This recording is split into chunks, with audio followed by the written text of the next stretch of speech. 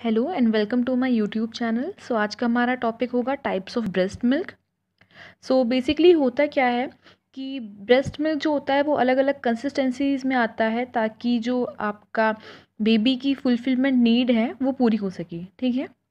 The composition of the breast milk varies at different stages in the postnatal period यानी कि जो breast milk की composition है वो चेंज होती रहती है अलग अलग स्टेजेस पे। वो जो कि होता है पोस्ट नेटल पीरियड में। और ये क्यों होता है आखिर? तो ये होता है to fulfil the need of the baby ताकि जो भी बेबी की नीड्स हैं, वो प्रॉपरली फुलफिल हो सकें।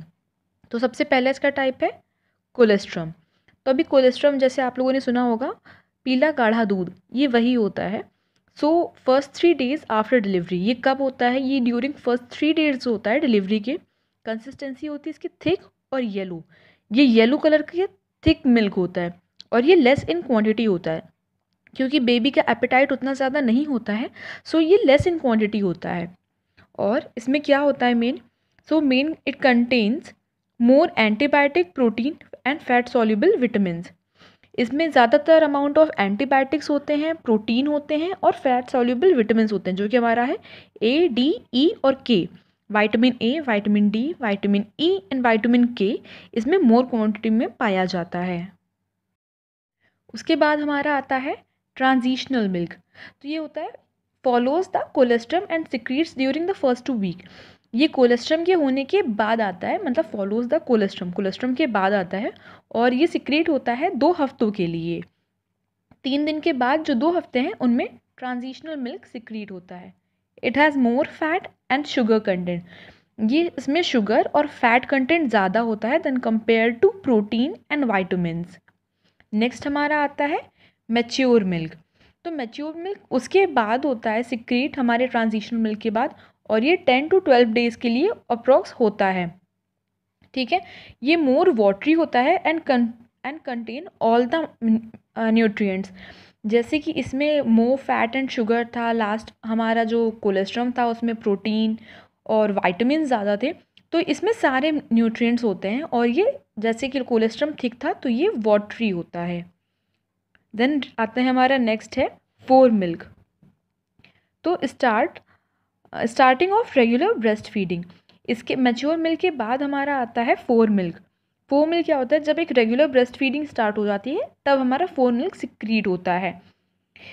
More watery to satisfy the baby's thirst जो बेबी की थर्स्ट होती है, उसको सेटिस्फाई करने की वजह से ये ज़्यादा वाटरी होता है कंटेंट इसका। Contain more protein sugar vitamin and minerals इसमें प्रोटीन शुगर वाइटामिन और मिनरल्स ज़्यादा होते हैं। नेक्स्ट हमारा आता है hind milk so secreted towards end of the regular breast feeding जैसे हमारा फोर मिल्क था अभी अभी ये होता है starting of the regular breast feeding तो ये होता है हमारा end of the regular breast feeding ये और ये एक ही टाइम पे हमारे मतलब कि फोर मिल्क और हाइंड मिल्क एक ही टाइम पे सिक्रीट होते हैं बट दोनों आ, मतलब ये रेगुलर ब्रेस्ट फीडिंग के टाइम पे होते हैं बट ये starting of the regular breast feeding और ये at the end of the regular breast feeding होता है। Contain more fat and energy अगर इसमें शुगर मिनरल्स वाइटमिन ज़्यादा थे तो इसमें फ़ैट और एनर्जी ज़्यादा होता है। ठीक है? Both fore milk and hind milk is essential for baby क्योंकि ये वाटरी ज़्यादा है, ये बेबी की थर्स्ट को फुलफ़िल कर सकता है। तो ये जो हमारा है, इसमें उतना ज़्यादा ये वाटरी कंटेंट नहीं होता है और ये बेबी की न्यूट्रिशनल ग्रोथ के लिए भी काफ़ी ज़रूरी होता है बिकॉज़ इसमें फ़ैट और एनर्जी कंटेंट ज़्यादा है। नेक्स्ट हमारी एक बात आती है कि इनिशिएशन टाइमिंग क्या होनी चाहिए? ब्रेस्ट फीडिंग इनिशिएट कब से करानी चाहिए? सो नॉर्मल वजाइनल डिलीवरी यानी एनवीडी में हम लोग थर्टी मिनट्स बाद ब्रेस्ट फीडिंग को इनिशिएट कर सकते हैं और सिजेरियन सेक्शन में फोर आवर्स के बाद ब्रेस्ट फीडिंग इनिशिएट कराई जा सकती है। इसी के साथ अगर आपको वीडियो पसंद आई हो तो प्लीज़ लाइक ज़रूर कीजिएगा और अपना कमेंट प्लीज़ करके बताइएगा। Thank you